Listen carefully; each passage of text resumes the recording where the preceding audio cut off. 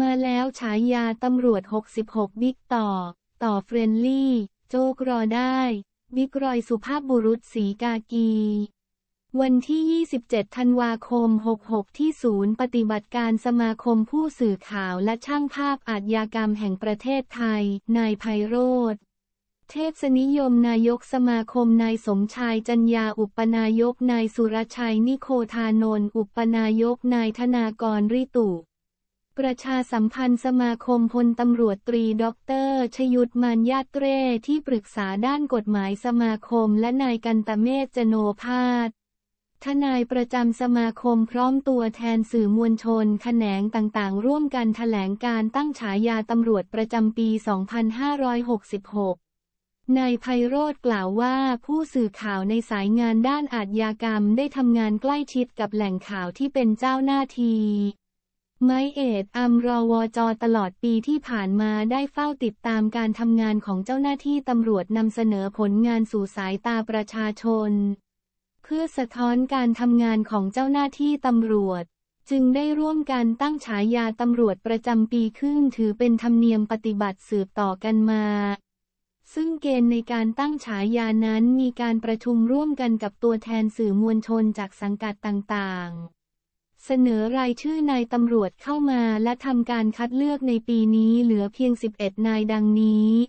1. พลตำรวจเอกต่อศักดิ์สุขวิมลผู้บัญชาการตำรวจฉายา ต่อ friendly พลตำรวจเอกต่อศักดิ์สุขวิมลผู้บัญชาการตำรวจหรือ บิ๊กต่อ ที่ผ่านมาสื่อมวลชนสายอาชญากรรม ขนานนามให้ว่าเป็น มือปราบสายธรรมะ เนื่องจากเป็นนายตำรวจที่ใช้หลักธรรมในการทำงานและหลักรัฐศาสตร์ เดินสายปฏิบัติธรรมตามสถานที่ต่างๆ ในขณะเดียวกัน บิ๊กต่อ ยังเป็นคนเรียบง่ายไม่ถือเนื้อถือตัว บ่อยครั้งจะเห็นภาพของพลตำรวจเอกต่อศักดิ์ร่วมวงกินข้าวกินก๋วยเตี๋ยวกับผู้ใต้บังคับบัญชา เวลาออกเดินสายตรวจเยี่ยมกำลังพลตามโรงพักต่างๆ ที่ห่างไกล และยังวางตัวเป็นกันเองกับลูกน้อง เน้นสวัสดิการให้ลูกน้องใครต่อใครก็เข้าถึงได้เป็นคนเสมอต้นเสมอปลายเป็นที่รักของลูกน้องจำนวนมาก จึงเป็นที่มาของฉายาว่า ต่อ Friendly 2. พลตำรวจเอก รอยอิงคไพโรธรองผู้บัญชาการตำรวจฉายา สุภาพบุรุษสีกากี พลตำรวจเอกรอยอิงคภัยโรธรองผู้บัญชาการตำรวจ ถือเป็นนายตำรวจที่มีผลงานเป็นที่ยอมรับ ด้วยฝีไม้ลายมือในการทำงานและผ่านงานระดับตำรวจ ทุกหน้างานทั้งงานปราบปราม งานสืบสวนและความมั่นคงเป็นนายร้อยตำรวจรุ่น 40 เกษียณอายุราชการปี 2567 และเป็นรองผู้บัญชาการตำรวจอาวุโสอันดับที่หนึ่งในการแต่งตั้งผู้บัญชาการตำรวจคนที่ 13 และคนที่ 14 ที่ผ่านมาทำให้มีลุ้นเป็นตัวเต็งนั่งเก้าอี้ผู้บัญชาการตำรวจถึงสองครั้ง แต่สุดท้ายก็ต้องผิดหวังเมื่อไม่ได้รับการเสนอชื่อเป็น ผู้บัญชาการตำรวจก็ก้มหน้าก้มตาทำงานตามที่ได้รับมอบหมาย ไม่มีแม้จะฟ้องร้องหรือทวงสิทธิ์แต่อย่างใด และมีกระแสข่าวว่าจะโยกพลตำรวจเอกรอยไปรับตำแหน่งเลขาธิการสภาความมั่นคงแห่งชาติ สมชเป็นการตอบแทนที่ไม่ได้รับการแต่งตั้งเป็นผู้บัญชาการตำรวจ พื่อแก้ปัญหาด้านคุณธรรม คืนความเป็นธรรมและเยียวยาความรู้สึกผิดหวังให้พลตำรวจเอกรอย สุดท้ายก็ไม่ได้เป็นไปตามนั้น บิ๊กรอยก็ยังคงปักหลักทำงานในหน้าที่จึงเป็นที่มาของฉายาว่า สุภาพบุรุษสีกากี 3. พลตำรวจเอก สุรเชษฐ์หักพานรองผู้บัญชาการตำรวจฉายา โจกรอได้ หากเอ่ยถึงชื่อพลตำรวจเอกสุรเชษฐ์หักพานหรือบิ๊กโจ๊ก เชื่อได้ว่าไม่มีใครไม่รู้จัก และด้วยฝีไม้ลายมือการทำงานที่ปรากฏต่อสายตาประชาชน ประกอบกับอายุราชการที่ยังคงเหลืออีกหลายปีทำให้ถูกจับตาว่ามีสิทธิ์ที่จะขึ้นเป็นผู้บัญชาการตำรวจและสื่อมวลชนสายตำรวจวิเคราะห์ว่า หากไม่มีอะไรสะดุด ในปี 2567 พลตำรวจเอกสุรเชษจะกลายเป็นอาวุโสอันดับหนึ่งทันที และก็อาจจะมีสิทธิ์ได้ใช้นามเรียกขานที่ทักหนึ่ง แต่ก็ต้องผ่านอีกกี่ขวากน้ำบนเส้นทางสู่ผู้บัญชาการตำรวจ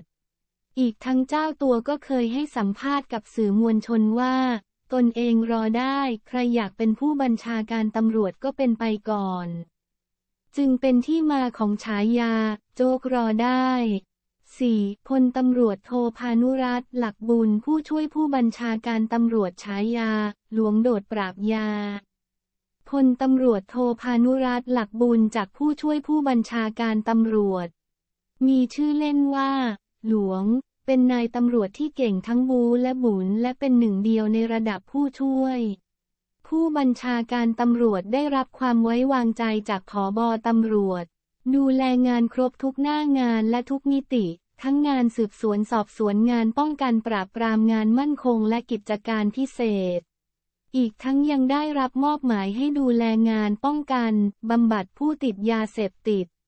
ที่ผ่านมานำกำลังตำรวจระดมกวาดล้างอาชญากรรมและยาเสพติดจับผู้ต้องหาได้มากกว่าหกหมื่น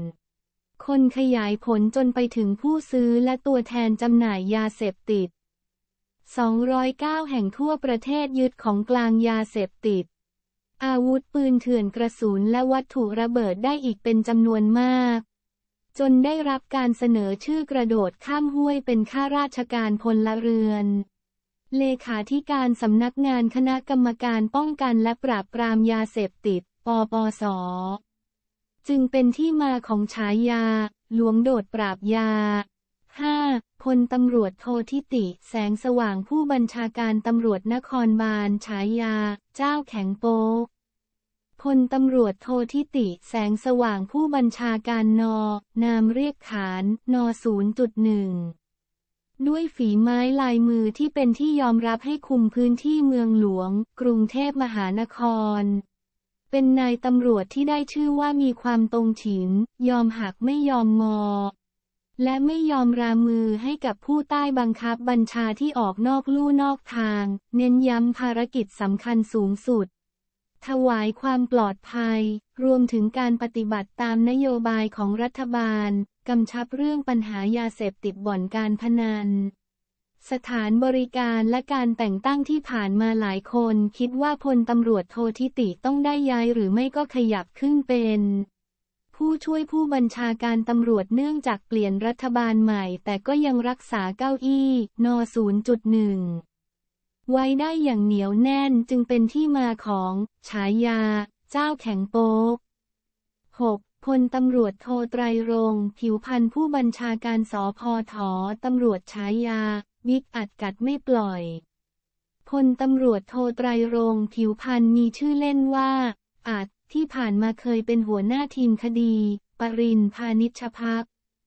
อดีตรองหัวหน้าพักประชาธิปัตย์ที่ตกเป็นผู้ต้องหาคดีกระทำอนาจารแก่บุคคลอายุเกินกว่า 15 ปีสองคดี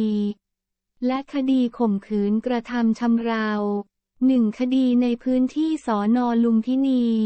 โดยทำคดีอย่างตรงไปตรงมาไม่เลือกปฏิบัติ แม้ผู้ถูกกล่าวหาจะมีตำแหน่งใหญ่ก็ตามช่วงในรอบปีที่ผ่านมาก็ฝากผลงานไว้มากมายจากการที่สวมหมวกเป็นหัวหน้าชุดปฏิบัติการ PCT นำกำลังไล่กวาดล้างจับกลุ่มเครือข่ายพนันออนไลน์ ที่สร้างความเดือดร้อนมอมเมาเยาวชนและพี่น้องประชาชนเป็นจำนวนมาก และเกาะติดไล่ล่าชนิดถอนรากถอนโคน จึงเป็นที่มาของฉายา บิ๊กอัดกัดไม่ปล่อย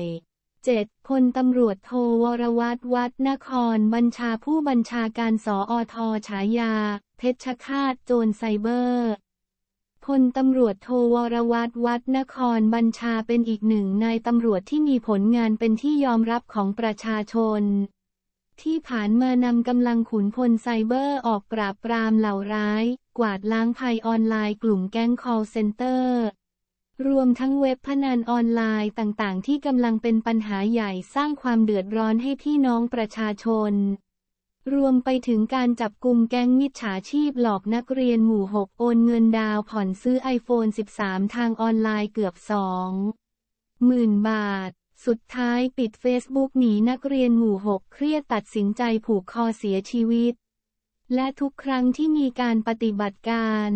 พลตำรวจโทวรวัตจะลงพื้นที่คุมงานเองเสมอ ขณะเดียวกันยังแจ้งเตือนประชาสัมพันธ์กลโกงของคนร้ายต่างๆ ให้รับทราบเปรียบเสมือนการให้วัคซีนทางไซเบกออนกับพี่น้องประชาชนให้รู้เท่าทันมีสติเพื่อไม่ให้ตกเป็นเหยื่อ จึงเป็นที่มาของฉายา เพชฌฆาต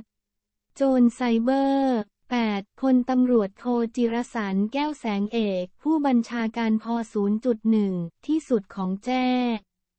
พลตำรวจโทจิรสันต์ แก้วแสงเอก ผู้บัญชาการภ.1 หรือที่สื่อมวลชนเรียกว่าติดปากว่า บิ๊กจี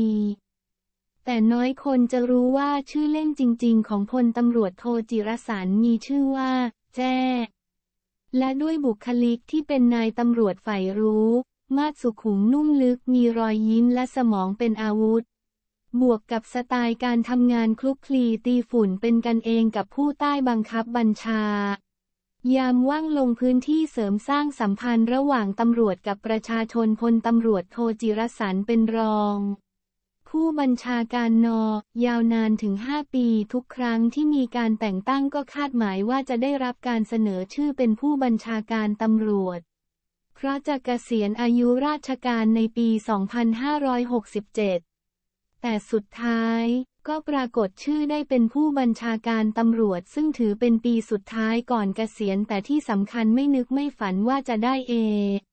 เป็นผู้บัญชาการตำรวจภูทรภาคหนึ่งหรือที่ใครเรียกว่าผู้บัญชาการตัวเลข จึงเป็นที่มาของฉายาที่สุด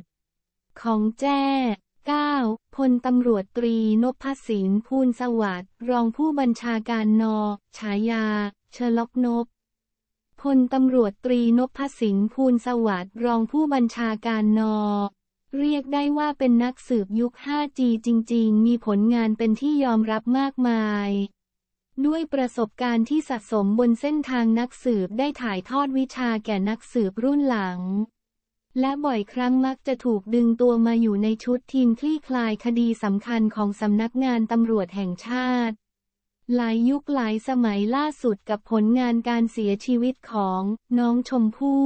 ถือว่าเป็นตัวจักสำคัญ และเป็นบทพิสูจน์ชุดคลี่คลายคดีหลังศาลชั้นต้นสั่งจำคุก นายชัยพล วิภาหรือ ลุงพล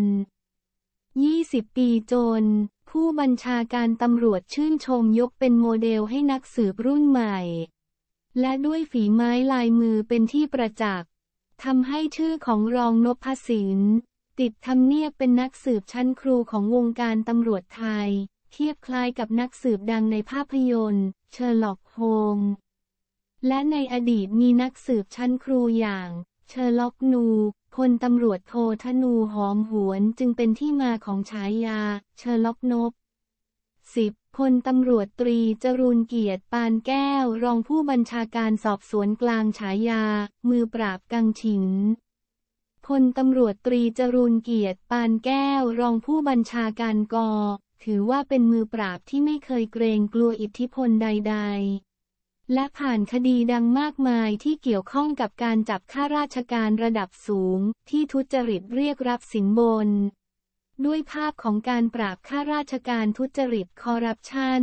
เรียกรับผลประโยชน์โดยมีชอบหัวประมูลงานต่างๆ ตั้งแต่สมัยเข้ามาดำรงตำแหน่งผู้บังคับการป้องกันปราบปรามการทุจริตและประพฤติมิชอบ บกปปป จนปัจจุบันได้รับความไว้วางใจให้ขยับตำแหน่งเป็นรองผู้บัญชาการตำรวจสอบสวนกลาง แต่ยังคงรับผิดชอบหน่วยงาน บกปปป ล่าสุดเป็นผู้นำทีมเจ้าหน้าที่ตำรวจเข้าจับกลุ่มนายวีรชาติ รัศมีนายกเทศบาลตลุกดู่อำเภอทับทัน จังหวัดอุทัยธานีลูกเขยของ ชาดาไทยเศษ รัฐมนตรีช่วยว่าการกระทรวงมหาดไทย โดยจับกลุ่มตามหมายจับสารอาญาคดีทุจริต และประพฤติมีชอบกลางที่จอ 0.167 เศษลบ169 ส่วน 2566 ข้อหาร่วมกันเป็นเจ้าพนักงานเรียกรับทรัพย์สินหรือประโยชน์อื่นใดโดยมิชอบ และร่วมกันเป็นเจ้าพนักงานปฏิบัติ หรือละเว้นการปฏิบัติหน้าที่โดยทุจริต จึงเป็นที่มาของฉายา มือปราบกังฉิน 11. พลตำรวจตรีธีรเดชธรรมสุธีผู้บังคับการสืบสวนสอบสวนนครบาล โคนันนครบาล พลตำรวจตรีธีรเดชธรรมสุธีผู้บังคับการสืบสวนสอบสวนนครบาลหนึ่งในลูกหม้อนครบาลด้วยฝีมือระดับตำนานนักสืบผ่านการฝึกฝนตำราสืบสวนมาอย่างมากมาย มีผลงานโดดเด่นด้านการสืบสวนเทียบชั้นครูตามเช็คบินปิดคดีสำคัญสำคัญได้หลายคดี และคดีล่าสุด ที่เป็นประเด็นดังมากในบนโลกออนไลน์ คือคดีคนร้ายใช้อาวุธปืนยิง ครูเจี๊ยบน้องหยอดนอสออุเทนถวาย ย่านคลองเตยเป็นกลุ่มองค์กรอาชญากรรมขยายผลจนสามารถออกหมายจับและจับกลุ่มกลุ่มผู้ก่อเหตุได้แล้ว 25 รายและยังอยู่ระหว่างติดตามจับกลุ่มอีกหนึ่งราย นอกจากนี้ในช่วงปีที่ผ่านมาสามารถจับกลุ่มคดีตามหมายจับได้ถึง 1,443 คดีจึงเป็นที่มาของฉายา โคนัน นครบาล